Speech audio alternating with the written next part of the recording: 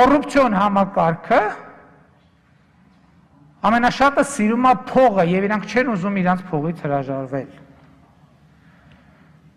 Ապօրինի գույքի բռնագանձման մասին օրենք է ընդունվել, որը շուտով կսկսի կիրառվել։ Կոռուպցիոն գործերով հսկայական հաջողություններ կան փաստական մասով, բայց ունենք նաև իրավական բնույթի խնդիրներ, որոնք Հիմա պիտի փորձենք լուծել, դա օրենսդրական է, դա նախադեպային է։ Իմիջայլոց ասեմ այդ խնդիրները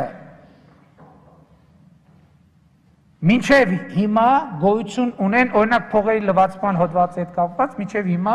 գոյություն ունեն Եվրամիությունում, ամբողջ աշխարհում։ Եվ հիմա դատական պրակտիկա փոխվում ամբողջ աշխարհում, որ เป զի այս ուղություններով գործերը հնարավորինս առաջ գնան։ Եվ նրանք հիմա ինչ են անում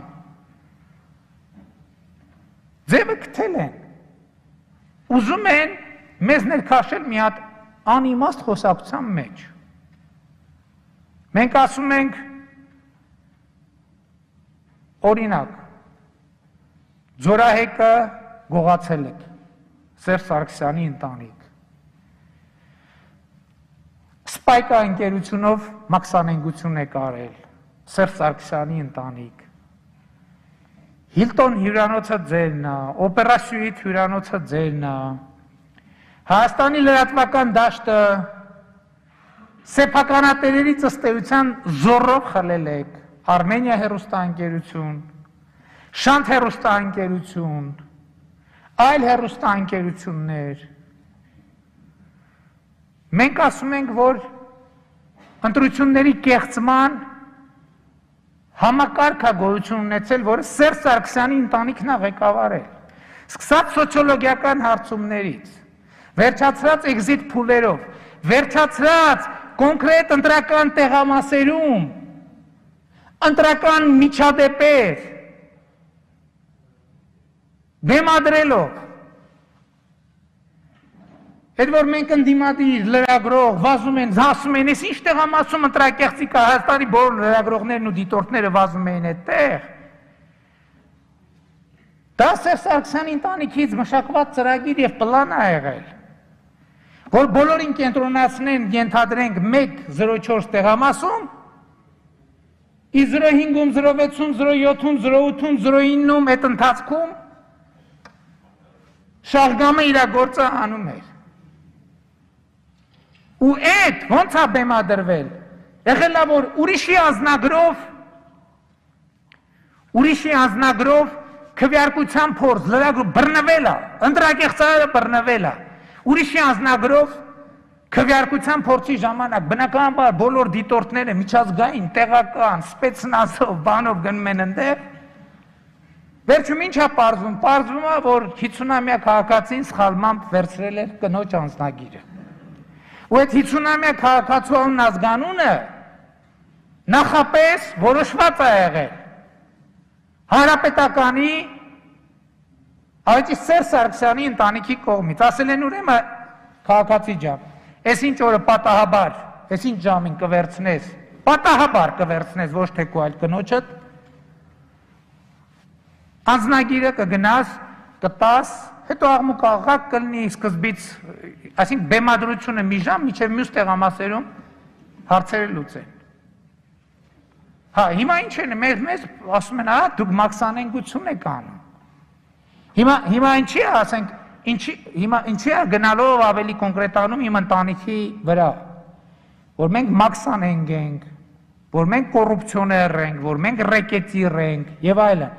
Այսինքն մեզնից ուզում են ստանան իրենց կերպարը, պատկերացրիք, չէ, իրենք հասկացել են, որ իրենց կերպարն է հեղափոխության հիմնական բանը։ Շարժիչ ուժը։ Հիմնան քարի որ ուզում են հեղափոխություն անեն, ուզում են, որ այդ ազատ լրատվամիջոցների ձեռամբ ինձնից կերտեն Սերժ Սարգսյան ինձնից կերտեն, սեր, ինձնից կերտեն մի հատ իրանց նման մի հատ չարժի չէ բառը ասել ազգային ժողովի ամբիոնից։ Հենց մի հատ եղկելի կերպար,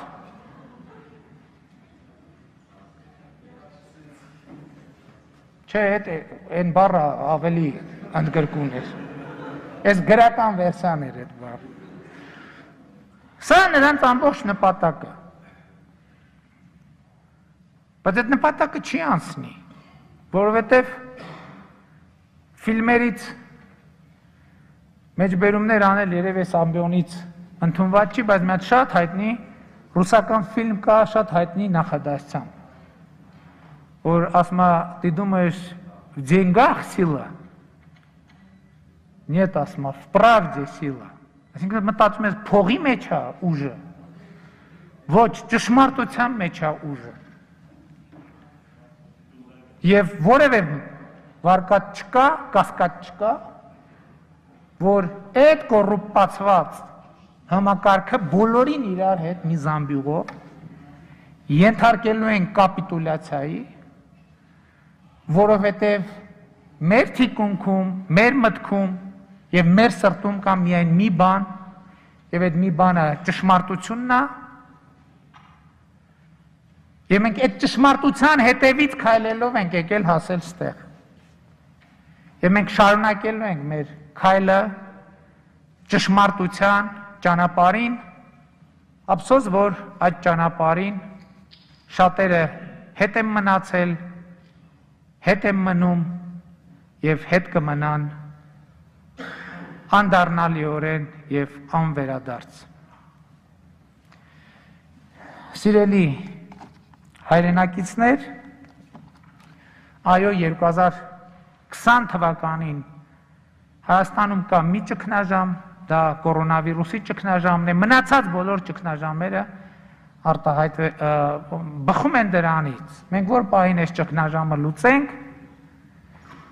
մյուսները ինքնաբերաբար շատ արագ վերադառնալու են իրենց ոչ միայն ելման կետ, այլև շատ ավելի առաջ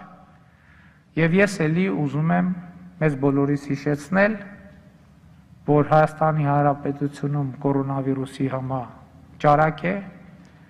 եւ ես ուզում եմ մեր բոլոր քաղաքացիներին կոչ անել, պահպանել հակահամաճարակային կանոնները,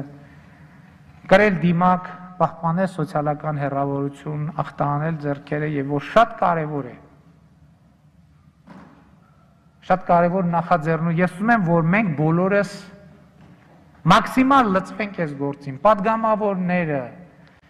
կառավարության անդամները, պետական հիմնարկների աշխատողները, հասարակական կազմակերպությունները, բոլորը իրենց այսօր այնպեսի իրավիճակը մեզնից յուրաքանչյուր իր օրվա 10-20 րոպեն, կես ժամը, մի ժամը պետք է անպայման նվիրի կորոնավիրուսի դեմ պայքարին։ Եվ ես գիտեք,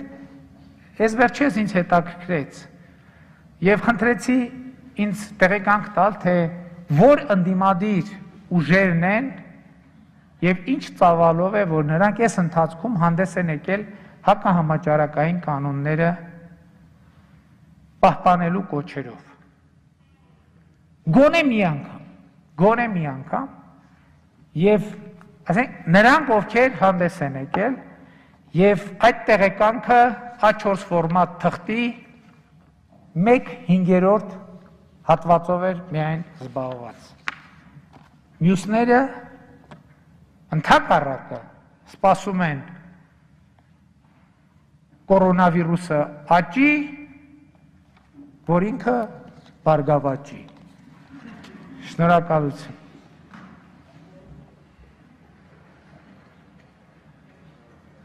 Արգելի